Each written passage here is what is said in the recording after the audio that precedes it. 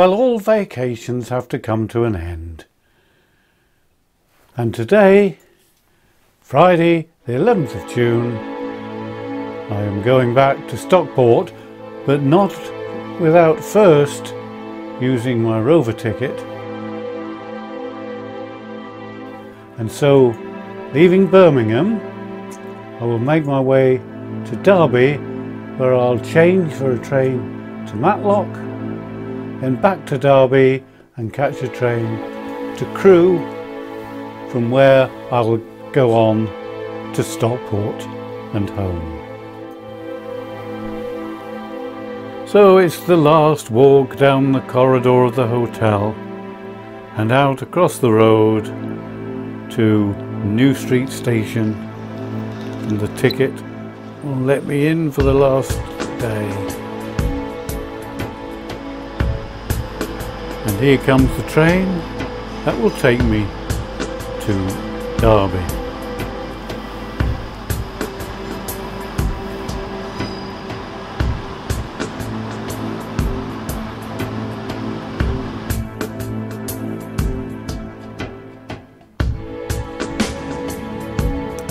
And so we pull out from Birmingham New Street for the last time this holiday. So here I am on my last train from Birmingham. This will take me to Derby, then I'll go up to Matlock, back to Derby and on to Crewe and Stockport. Now going to Tamworth and then now pulling in to Derby.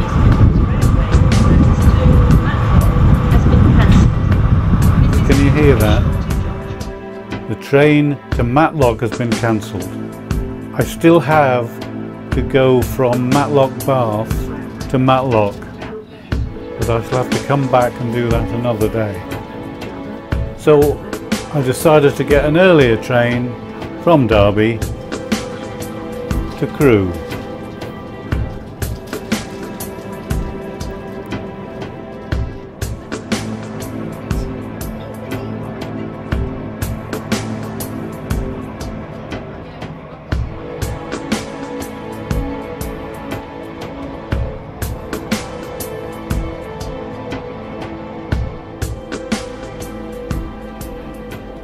And here we are at Kidsgrove Junction.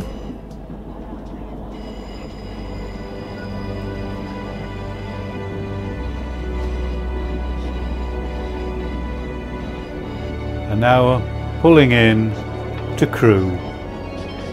And at this station, my rover ticket ends.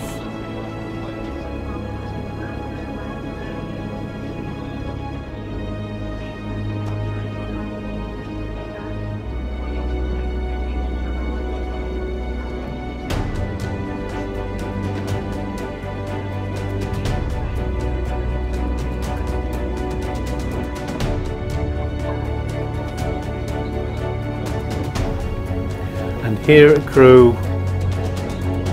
is my final, the final train of the Rover ticket. And a Transport for Wales train took me from Crewe to Stockport.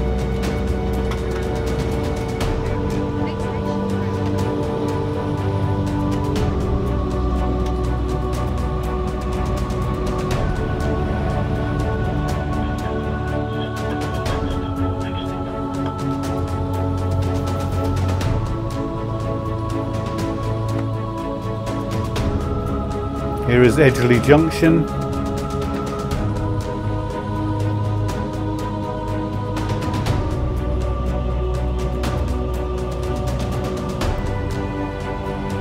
And now pulling in to platform 2 of Stockport Station.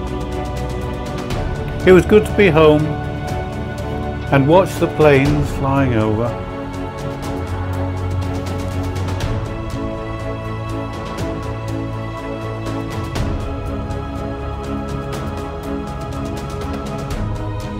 Let's just see how well I got on.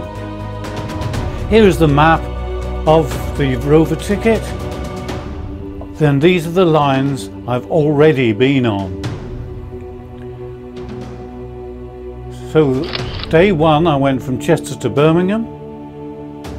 Day two Stourbridge, Great Malvern and Hereford. Day three Stratford upon Avon and Bournville.